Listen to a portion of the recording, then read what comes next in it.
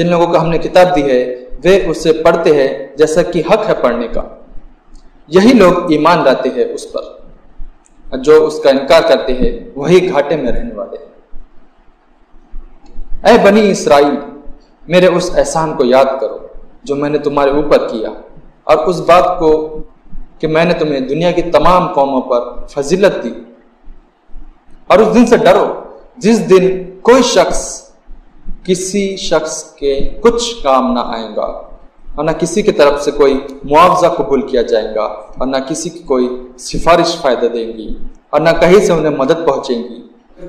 اور جب ابراہیم کو اس کے رب نے کچھ باتوں میں آزمایا تو اس نے پورا کر دکھایا۔ اللہ نے کہا، میں تمہیں سب لوگوں کا امام بناؤں گا۔